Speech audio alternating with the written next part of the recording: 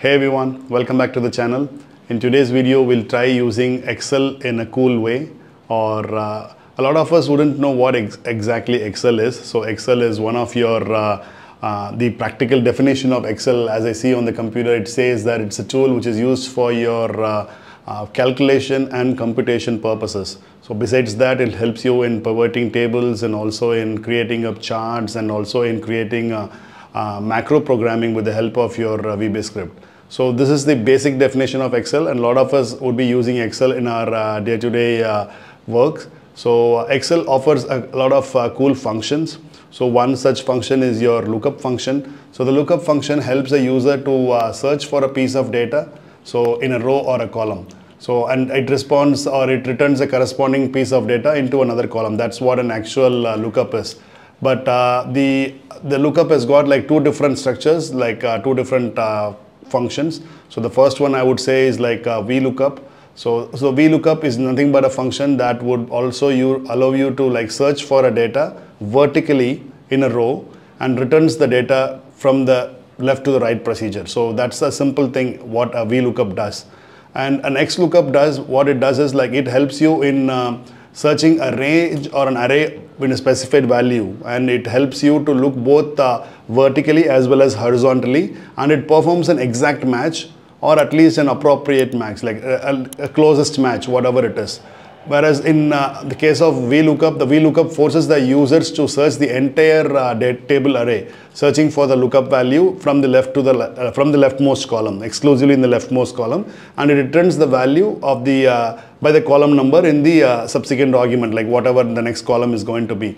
And uh, XLOOKUP, on the contrary, what it does is it look up, looks up for the columns and the specified data and it automatically stores up your value. The first match it finds, this would automatically store that value into the uh, cell where we are trying to uh, copy this data into. So this XLOOKUP is always been considered as one of the toughest topic in Excel. Not many of us know how to use Excel. So in this live examples, we'll see how to use XLOOKUP in uh, a real day-to-day -day scenario and see how cool of a function it is to use in your day-to-day -day work environment. So on this uh, screen, you could see here that I'm having a data set of uh, a lot of uh, managers as well as uh, salesmen with the uh, items that have sold along with the regions that they are like selling it. So first we'll try using up XLOOKUP. So you could see here that in the XLOOKUP, I'm using the first uh, salesperson. I'm going to try using here Leah and we'll also see XLOOKUP as well using multiple column data. So first I'm going to use the XLOOKUP. So it looks up for an uh, lookup value. It's going to find the lookup value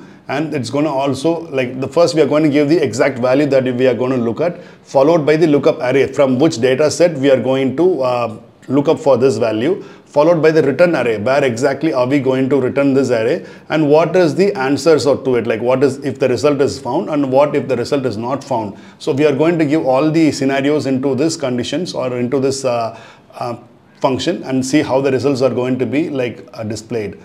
And it also gives you the search mode what are is going to be the actual search mode of this.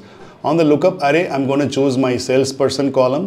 So i'm choosing the entire column set there.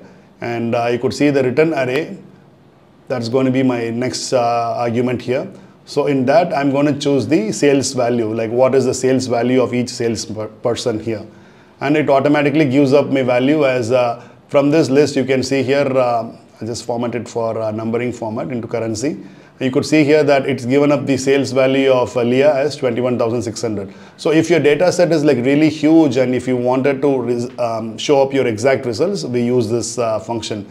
It's so easy to find out the exact value. Now if you try to uh, replace your salesperson value, say for example, uh, if you wanted to replace that, it will automatically give you the exact value. Now try, let's try to use the X, uh, XLOOKUP in multiple column data set. Say for example, I want to use a salesperson along with the items that have sold or in the region they have sold and I wanted to find out the sales values or whatever they have done. So here what I'm going to do is I'm going to use uh, another salesperson as Allison and followed by I'm going to use an XLOOKUP function. The lookup value I'm giving here is Allison and uh, the lookup array I'm going to give uh, the salesperson again followed by um, the return array. The return array, what I'm going to do is I'm going to again choose the salesperson here or I'm going to, this example, I'll use the uh, region along with the sales column. I'm going to choose both the columns here. So this is going to be like a multiple data set, uh, the input. So you could see here that from Allison and the data is going to be like the central zone or the region and the sales that has happened is like 14,000. So that results gives up the values automatically from this data set. So here the XLOOKUP is using the uh, um, multiple data set where region as well as sales is being used. So here I'm going to use um, the function for uh, as not found. If that value is not found, it will be returning the value as like not found. So if I give like some other uh, salesperson name, it automatically gives us the value as not found there.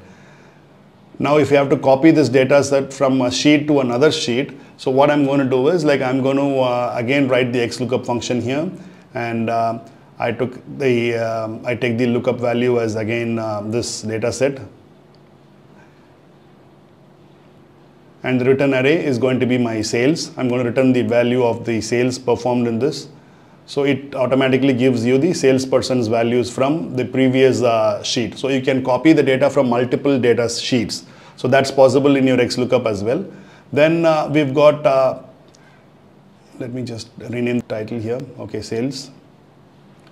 Now the next thing what we have is like going to be your nested uh, XLOOKUP. That's one more cool feature which is available in uh, uh, XLOOKUP. So what we do in nested function is, um, say for example, I'm having um, the staff name along with the projects that I've completed across uh, different months. So I'm going to use XLOOKUP and the lookup value is going to be the name here. The lookup array is going to be my entire uh, salesperson's array. The return value I'm going to give here as uh, I'm going to find it for uh, the month of uh, April or I'm going to again use an X XLOOKUP function here where I'm going to look up for the value as April and uh, the data set, the array is going to be this array, whatever is there here in my set. And the return array is again going to be this month or the uh, value of data that is going to be here. And uh, I just enter it. Now you could see that uh, it has calculated the value of uh, Lisa's uh, sales and uh, you could see the sales that has been happened in the month of uh, April. That value is like automatically uh, returned here in this function. Now if I try to find for March, it automatically changes the value. It shows for uh, the month of March. And if you change the staff ID's name, the staff name, it automatically starts returning the value for rows as well here for the month, whatever has been specified.